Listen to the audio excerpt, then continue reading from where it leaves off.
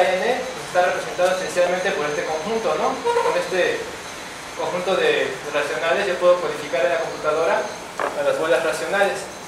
Y además hay la siguiente propiedad que es muy importante. Para la base beta n pues existe un programa, vamos a llamarle pn, que recibe como entrada, puede recibir como entrada dos elementos, dos elementos de este conjunto que representan un par de bolas racionales y lo que hace Pn es este, calcular una sucesión infinita de elementos de Qn plus, plus Q más y esa sucesión me codifica eh, esta, esta, intersección de, las, de estos dos, dos, elementos de la base como, como unión, unión de, de, otros elementos de esta base. O sea, ¿qué hace el programa PN? Me está calculando la intersección de bolas arbitrales. ¿sí? Y esta propiedad de esta base convierte a Rn, lo que se conoce en esta teoría general de topología computable, en un espacio topológico computable. ¿Sí? Entonces, este es el caso particular para, para Rn. Y bueno, y con estas propiedades de computabilidad de esta base, pues podemos empezar a definir este, varias cosas de computación en, en espacios euclidianos. Vamos a ir a ver rápidamente definición de punto computable en Rn eh, generalizando la definición de función computable que vimos, vamos a ver cómo se define una función computable entre sus conjuntos de espacios euclidianos y una definición importante para nuestro trabajo, vamos a ver este conjunto abierto, semicomputable y computable, este vamos a ver por qué, y la definición análoga de conjunto cerrado, semicomputable y computable. Bueno, este, ah, un poquito de, un poquito de lo que estaba diciendo. Estos conceptos se, ori se, originan en el análisis computable. El análisis computable ya tiene, ya tiene varios años de estar siendo desarrollado. Es este, hay mucha teoría al respecto, hay espacios métricos computables, hay muchas cosas hechas en espacios euclidianos y no hace mucho tiempo fue generalizada la teoría en espacios T0, en lo que se conoce como topología computable, que es lo que les comentaba. Yo una teoría general, ahorita para la presentación me quedo en, me quedo en espacios euclidianos para, para este, pues intentar así que, que, todos entendamos. Bueno, la primera definición de computabilidad en RN es la de vector computable. Entonces a X voy a decir que este vector es computable. Existe un programa de computadora que calcula una función de los naturales en Qn que tiene esta propiedad. Este, X va a estar en la, en la vecindad de, de, la bola dada por, el, por S de radio 2 a la menos M. ¿sí? Y si nos fijamos lo que está haciendo esta, esta cosa, es que me está calculando una aproximación racional del vector X, ¿no? Con esta precisión. ¿sí? Y si el programa me calcula esta función para cualquier n, entonces quiere decir que yo puedo aproximar al, punto x de forma arbitraria. Y, y, la aproximación puede ser tan fina como, como yo le desee, como la memoria de la computadora me lo permita. ¿sí? Entonces, en pocas palabras, x es computable yo puedo aproximarlo con un programa de forma arbitraria, tan, tan precisa la, la, aproximación como yo quiera. Y siguiendo esta definición, puedo dar una definición de función computable, ¿sí? entre subconjuntos de espacios euclidianos. Esta f va a ser computable, pues si existe un programa de computadora que me calcula aproximaciones arbitrarias de, del vector f de x, en el sentido que lo, lo dije anteriormente, siempre que ese programa cuente con aproximaciones arbitrarias de x en a. ¿sí? Si el programa puede hacer aproximaciones del, del elemento del dominio, entonces me puede hacer aproximaciones de la precisión que yo quiera de f de x. Entonces esta es la definición de función computable y una consecuencia de las definiciones que es que si f es computable, f es continua. ¿sí? Entonces hasta ahí vamos bien. Y si las funciones computables son continuas, entonces podemos definir lo que son homomorfismos computables. ¿sí? Que pues es simplemente h es un homomorfismo computable, pues si h y h inverso son computables. ¿no? Y vamos a decir que a y b son computablemente homeomorfos. Y bueno, ahora vamos a la definición de conjunto abierto semicomputable y computable. Bueno, el conjunto abierto U es semicomputable si existe un conjunto listable, en el sentido que definimos al principio, es un conjunto que un programa de computadora lista sus elementos, así, sin, parar nunca. Este, si existe un conjunto listable AU, que tiene la propiedad de que U es precisamente la, la, unión de todas las bolas racionales que están codificadas en el conjunto AU. ¿sí? Y ahorita más adelante vamos a ver por qué decimos semicomputable cuando veamos la definición de, de conjunto abierto computable. ¿sí? Pero ahorita U es semicomputable, pues si yo tengo información de su, de su contenido, ¿sí? en términos de la base computable de RN. Y la definición de cerrado semicomputable es un poco diferente. ¿sí? El cerrado C va a ser semicomputable si este conjunto que representa ruedas racionales es listable. Y este conjunto tiene es, pues es simplemente el conjunto de ruedas racionales que me intersectan al, al cerrado C. ¿sí? ¿Y cuál es la idea intuitiva? Yo me imagino, en el caso particular de que C sea un compacto en R2, la idea intuitiva es esta. Si C es semicomputable, significa que hay un programa de computadora que me hace dibujos de la precisión que yo quiera del cerrado C, del compacto, del compacto C.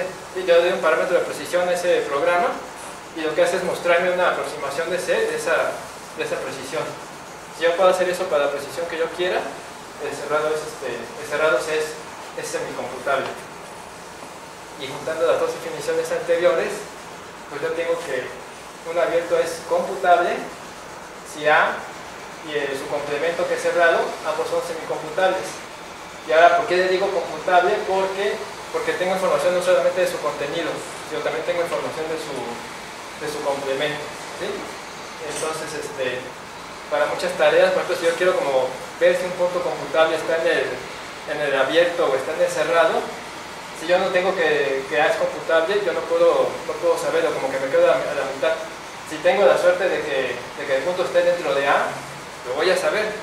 Pero si no está dentro de A y el, el complemento no es, no es semicomputable, no voy a saber qué pasa.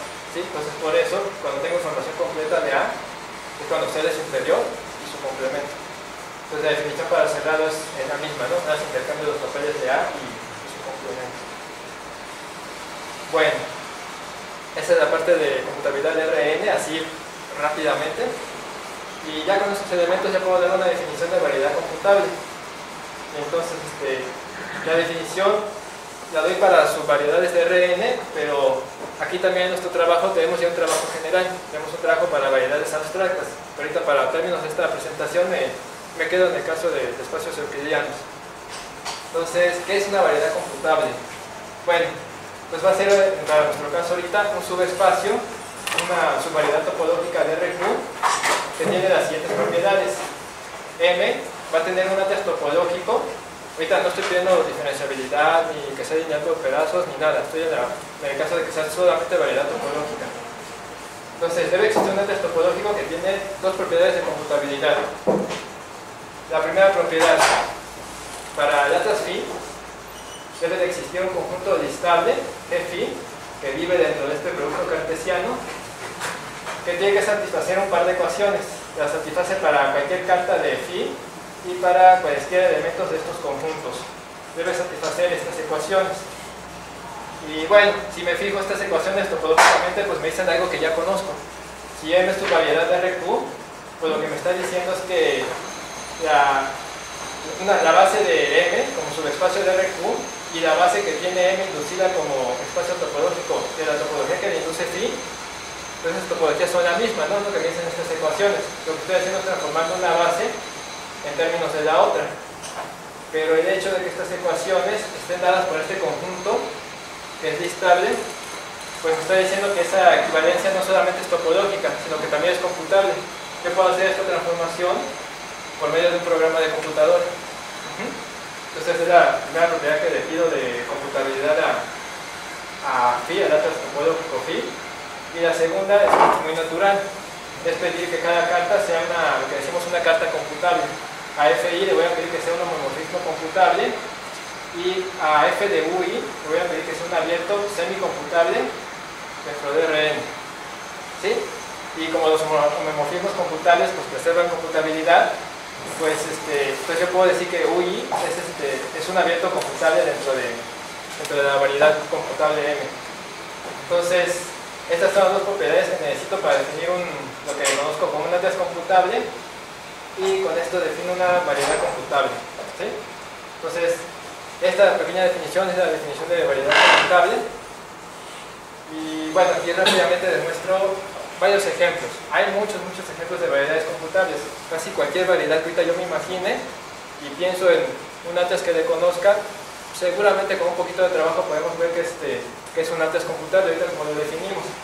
Entonces algunos ejemplos rápidos son euclidianos, bolas, esferas, superficies, eh, proyectivos, grupo ortogonal, mañanas, el toro para cualquier n, la figura 8 por ejemplo es variedad computable, la línea con dos orígenes y muchos, muchos más. Más adelante vamos a ver que hay una clase de variedades conocida que, que son variedades computables. Estos son algunos ejemplos rápidos.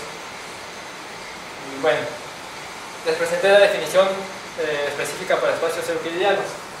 Como les dije, hay una, ya tenemos un trabajo donde hay una definición general para variedades en general que no estén metidas en RN precisamente. Este, ahorita vamos a ver un poquito sobre lo que hemos hecho en, general, en nuestro trabajo. Este, pues resulta que tenemos construido en forma computable varias características de la teoría de variedades topológicas. Cuando hacemos las cosas de forma computable es un poquito como que retomar lo que se tiene, entonces ir así como que construyendo, construyendo otra vez y, este, viendo que las cosas se satisfacen en forma computable. Entonces, lo primero es que tenemos una, una definición general a partir de ATCs computables. Esta definición uno la puede dar sin que se mencione alguna topología, como es este clásico darla. Y este, a partir de eso uno puede definir ATCs computables equivalentes, que son equivalentes dos ATCs computables cuando me define la misma topología computable. Este, y esa entonces uno define una clase de equivalencia de ATCs computables y esa clase de equivalencia sobre un conjunto es lo que sería una estructura computable, una variedad. Y es bueno, eso es lo que me define, es una variedad computable, una estructura computable.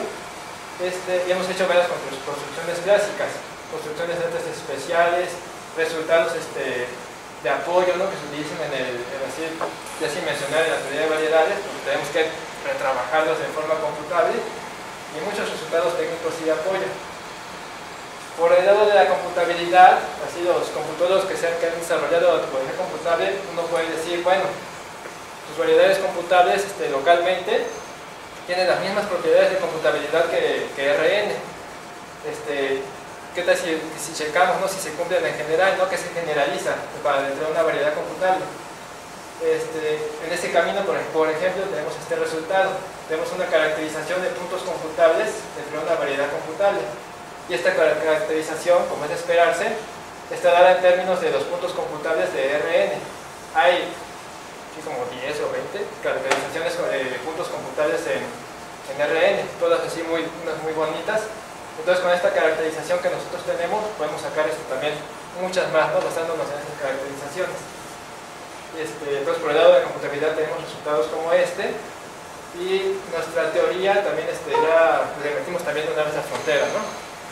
tenemos de variedades computables con frontera, hemos trabajado el caso de la frontera, y este, no pueden faltar sus variedades. Para tener una teoría completa, tenemos que meter sus variedades computables. Entonces aquí en unos resultados rápidos, cuando U es un abierto de M, pues sabemos que es su variedad siempre, ¿no? Pero para que sea su variedad computable, yo tengo que pedir que sea abierto semicomputable. Donde aquí semicomputable en M, pues es una generalización del concepto que decimos, una generalización apropiada. Entonces, si U es abierto semicomputable, U es siempre su variedad computable de, M. La frontera se porta muy bien, la frontera, aunque, aunque no sea computable, siempre es su variedad computable de, M.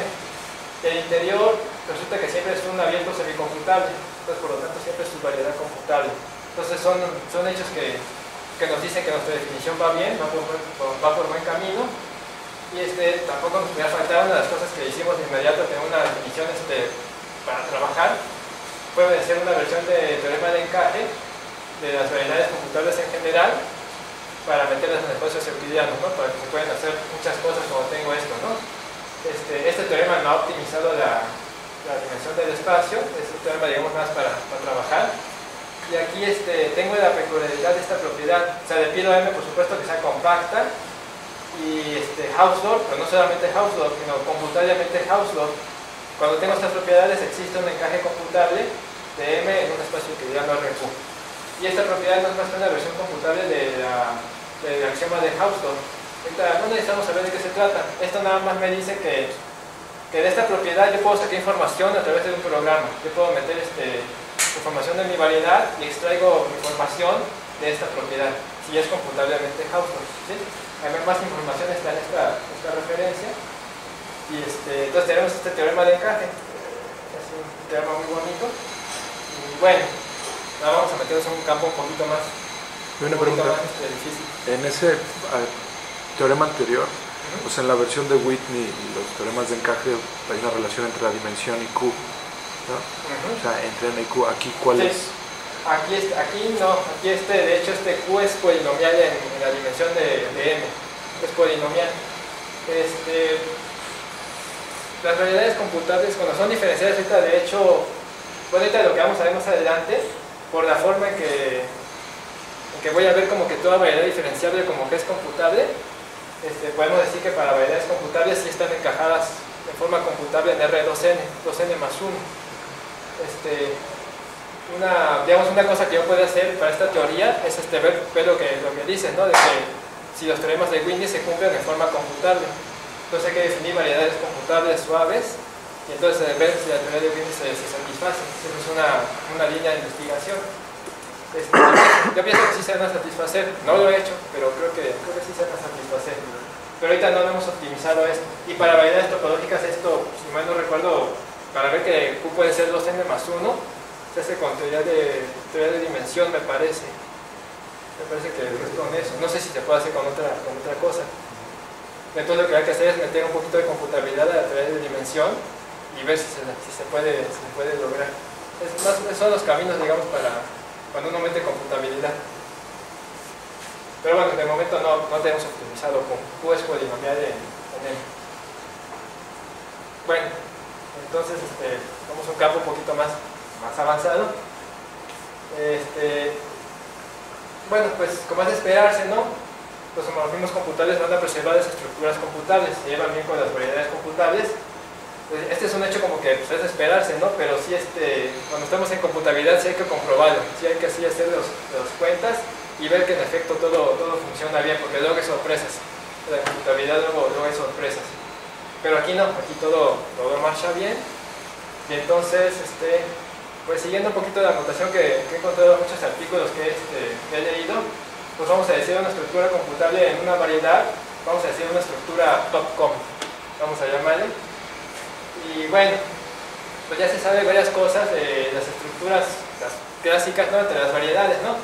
Tenemos este, las estructuras topológica, eh, lineal por pedazos, y diferenciable, ¿no? Tenemos en general estos, este conocimiento en general, ¿no? En dimensión menor que 4 las estructuras, pues digamos, coinciden, una variedad tiene todas las estructuras, en dimensión igual a 4, que es como que la salvaje, eh, se tiene en general que, que PL es igual a 10, hablando con abuso de notación, ¿no? Y que son, son distintas del top. En dimensión mayor que 4, pues todas, todas difieren, ¿no? Es lo que en general sabemos. Y este, pues si tenemos esta nueva estructura top-com, pues cuál será su relación con estas estructuras. Este, queremos una respuesta completa, ¿no? No la tenemos toda, pero tenemos una pequeña, una pequeña parte. Pequeñita, ¿no? Pero estamos, viendo cómo, cómo extender esta respuesta. Y bueno, vamos a un poquito de... Vamos a comparar estructuras diferenciables contra estructuras este, computables. Entonces para eso, ah bueno, en el caso compacto, ¿no? No me quiero meter en, problemas, me quedo en el, en caso compacto. Entonces vamos a ver la computabilidad en las variedades diferenciables. Esto ahorita que les voy a platicar fue mi tema de tesis de maestría con Marcelo. Y bueno, resulta que estos señores, en este artículo, probaron que toda variedad diferenciable cerrada puede ser representada de forma combinatoria, con una cadena de símbolos finita, que son puros símbolos combinatorios, y que esa, esa cadena de símbolos representa la estructura topológica y diferenciable de n. Y por supuesto que esa información yo la puedo meter en una, en una computadora y me la puedo extraer, la puedo extraer y la puedo manipular. Entonces les voy a platicar rápidamente lo que hicieron estos señores. Este, ellos desarrollaron el concepto de presentación finita de una variedad diferenciable cerrada. Aquí yo doy la definición para compacta, van a ver más adelante por qué.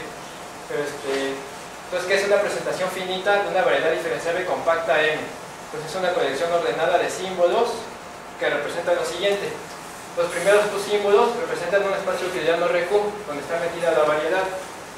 Eh, P1 y PS son vértices, son vértices de, RQ que tienen coordenadas racionales, que son los vértices de un complejo simplicial finito, representado por teta, que es un esquema combinatorio de complejo simplicial, tal que su realización está metida en RQ, y este es el cuerpo geométrico de M.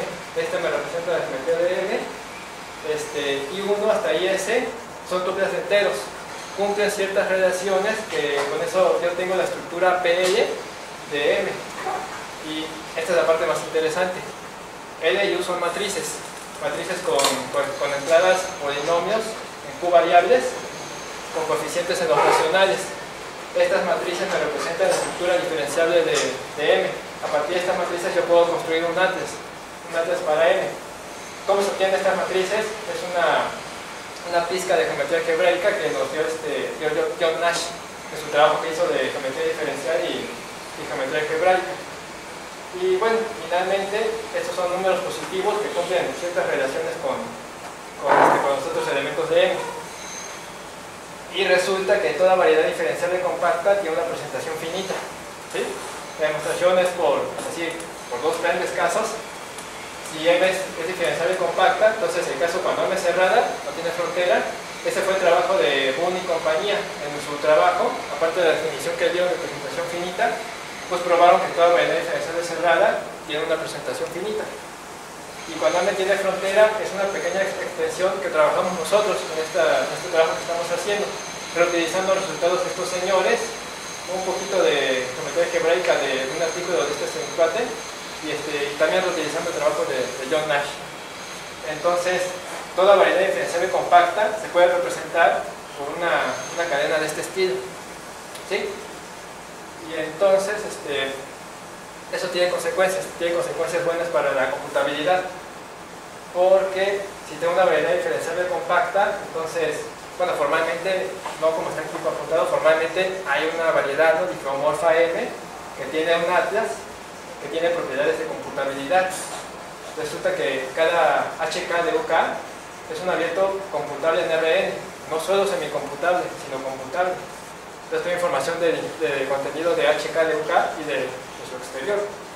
Cada HK es un difeomorfismo computable, donde la definición es como que la obvia, ¿no? HK y HK inversa, y cada derivada de estas funciones, todas son computables. Y entonces este, podemos definir atlases suaves computables, estructuras suaves computables, entonces podemos pensar en estructuras DIFCON, ¿sí? Y entonces, este, pues esto como que nos lleva, si yo me olvido de lo diferenciable, me lleva que toda, bueno, primero toda variedad diferenciable compacta posee una estructura DIFCOM, ¿sí? o sea, la puedo deformar de tal manera que obtenga una variedad computable, diferenciable y feomorfa a la, a la original. Y si me olvido de, la, de diferenciable, pues obtengo que toda variedad diferenciable compacta posee una estructura TOPCOM. Y entonces, una, una pequeña actualización ¿no? del conocimiento que tenemos. En dimensión menor que 4, pues no hay, no hay sorpresas para dimensión igual a 4, pues tengo, este, tengo bueno, aquí PL es igual a 10, entonces obtendría que estas, estas dos estructuras están contenidas en .com en dimensión mayor que 4, pues este, bueno, nada más obtengo que el if está contenido en .com no sé qué pasa con PL, no, este, no hemos trabajado y con top pues, tampoco sabemos qué pasa, ¿no? Bueno, está con, .com está contenido aquí, pero no, este, no sabemos todavía qué pasa bien, ¿no? Con, con precisión. Entonces, pues esta es la pequeña parte de la respuesta que tenemos, estamos trabajando para, para aumentarla. Este, y esa es una de las cosas ¿no? que siguen a futuro. O sea, lo que hemos hecho es este, dar un principio, ¿no? Tenemos ya una, una, teoría básica que ya desarrollamos bien. Lo que pues, queremos es así como que entrar de lo bueno, ¿no? Entrar este, a, no sé, ¿no? A, obstrucciones, meter de homología, homología, homotopía, este, desarrollar así ya conceptos más, más avanzados para esta teoría. Por el lado de la computabilidad, como les decía, voy a intentar generalizar resultados de computabilidad de RN. Hay muchos, hay mucho, mucho trabajo aquí. Ver si se generalizan para variedades computables. Hacer una versión construible de la teoría de variedades computables, similar a la teoría computable del análisis real. Lo que hace uno otra vez es tomar lo que se conoce y irlo así como que paso a paso a ver si se sigue satisfaciendo con computabilidad. Hay sorpresas, hay teoremas que son ciertos sin computabilidad pero cuando yo meto mis objetos computables, resulta que el teorema no es cierto, el resultado no es computable, entonces luego hay sorpresas. Este, y por el lado de la topología, este es, es, interesante porque es como venir de lo computable a lo no computable, como estar este, cruzando una frontera. Este, pues hay que profundizar ¿no? la realización de estructuras top-com con las otras estructuras de variedades. Este, bueno, esta es una pregunta que yo me, me hago. Creo que no va a ser fácil de contestar, pero pues son las cosas que uno puede, puede preguntarse, puede intentar, intentar contestar. Hay una variedad topológica, tiene que ser segundo numerable porque variedades computables tienen, este, tienen que tener antes numerables, ¿no? este, porque soy una cantidad numerable de programas, pues no puede, no puede tener más. Y este, son las cosas ¿no? que podemos este, intentar hacer. Entonces, muchas gracias por, su atención, como la bibliografía. No sé si hay preguntas.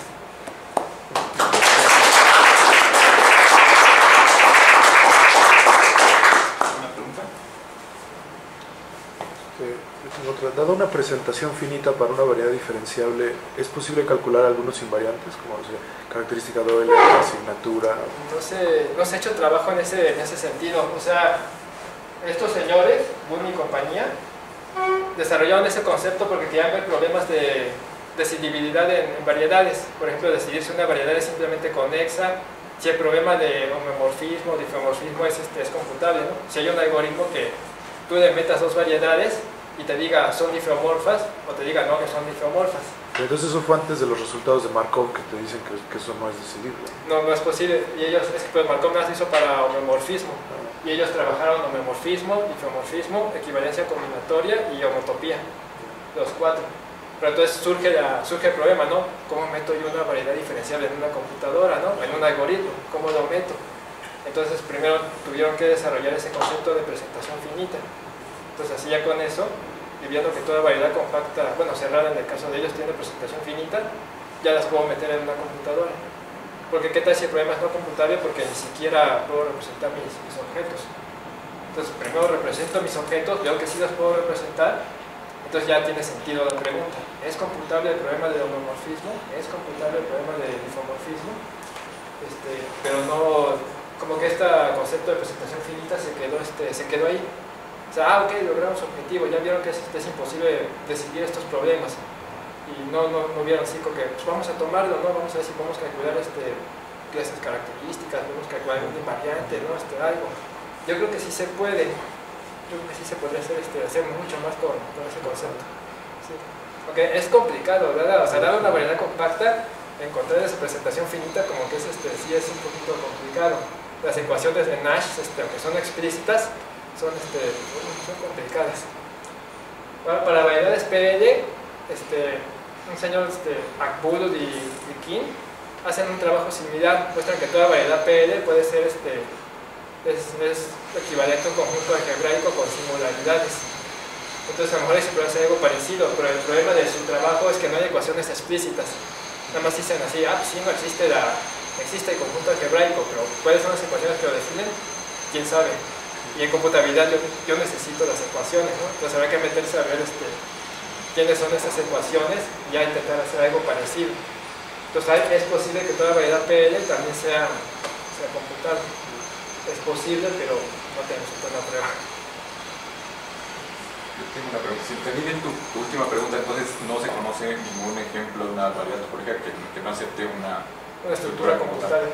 Sí, este, no, eh, digo, esto apenas lo desarrollé el año pasado, así yo ya lo terminé así bien, bien, bien. Este, no se conoce alguno. No quisiera que la respuesta fuera que... Que no, que no, que no hay ninguno. Para que tenga, para que tenga chiste, ¿no? yo pienso que va a ser que no, porque las redes topológicas son muy, este, muy locas. Y por ejemplo, a lo mejor un candidato puede ser la variedad de 8, la que se construye con este, este diagramita. Pero este, yo quiero intentar probar que esa variedad es computable. Quiero intentar probarlo. Nada más que sí hay que hacer versión computable del trabajo de Friedman, porque se necesita hay un teorema que Friedman este, tiene que toda esfera homológica, tras esfera homológica, este, es frontera de una cuatro variedad. de una cuatro bola. Pero entonces hay que ver que esa cuatro variedad es computable. Y entonces sí, ese teorema de Friedman no es, este, no es trivial. Entonces sí, o sea, hay muchas cosas que hacer, pero... Sí, de, de, hecho en la prueba de Freeman me parecería que no se puede hacer computable porque utiliza estas asas infinitas que son como recursiones de asas que luego llega a un límite y en el límite dice que ya la cosa es singular o conexa, pero, pero, es un proceso infinito que no, no, es numerable. Pero habría que trabajar, puede ser, porque si es un proceso numerable, puede, si este, puede que sí sea computable, porque la teoría general esta, está basada en una extensión de, de, la teoría de la computación normal que se llama teoría de la computabilidad de tipo 2, que puede trabajar con objetos infinitos. O sea, para fines prácticos, este, lo que uno tiene ya para hacer cálculos prácticos en una computadora normal son aproximaciones. Pero en general, lo que hacen este, las máquinas de tipo 2 es calcular todas las aproximaciones. Entonces me, hace, me saca la aproximación de grado 1, aproximación de grado 2, me saca todas. Entonces, sí puedo trabajar con, objetos infinitos, pero sí, entonces habría que meterse a, fondo al trabajo de, Friedman y ver si, si se puede o no. Entonces, a mí me gustaría probar que si es computable, y entonces yo creo que un, un ejemplo de una variedad topológica no computable va a ser, este, va a ser difícil de obtener si E8 es computable. Pero bueno, quién sabe. Tengo que trabajar. Un ejemplo, para la esfera que es el más fácil de cómo es que codificas la estructura defensiva de la esfera en esta información combinatoria. ¿Esta? Bueno, no es, no es muy difícil porque la esfera tiene, tiene átlases definidos con, con polinomios, ¿no? Con la proyección estereográfica la puede hacer este, en términos polinomiales. Entonces, este, no la tengo. No tengo una, una sí la, la intenté construir así explícitamente la presentación, pero, pero ahorita no, no la tengo. Okay. Así no la tengo así. Es que además, nada más les presenté la, a grandes rasgos cada símbolo. Tiene que satisfacer como, como 10 relaciones, así, ecuaciones, otras ecuaciones complicadas. Pero sí, este, sí se puede construir, no es que sí es complicado. Okay. No, pues agradecemos al profe. Ahorita sigue el café.